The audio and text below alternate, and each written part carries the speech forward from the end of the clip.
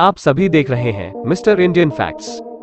मिस्र की रानी क्लियोपेट्रा के बारे में कहा जाता है कि वे अपनी खूबसूरती बनाए रखने के लिए गधी के दूध से स्नान किया करती थी। उनके स्नान लायक दूध की व्यवस्था में लगभग 700 फीमेल गधियाँ लगती थी।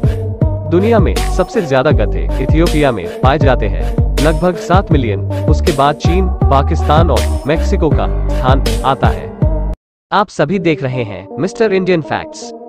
क्या आप जानते हैं, गधे हर परिस्थिति में अपने दिमाग का बखूबी उपयोग करते हैं। यह उसी स्थान से दूर हट जाते हैं, जहाँ इन्हें खतरा महसूस होता है और यह चलते समय अक्सर खतरा महसूस होने पर अपनी एडी से मिट्टी को कुरेदने लगते हैं। गधों की इस हरकत से इंसानों को समझ जाना चाहिए कि आगे कुछ ना कुछ खतरा ज़रूर होगा।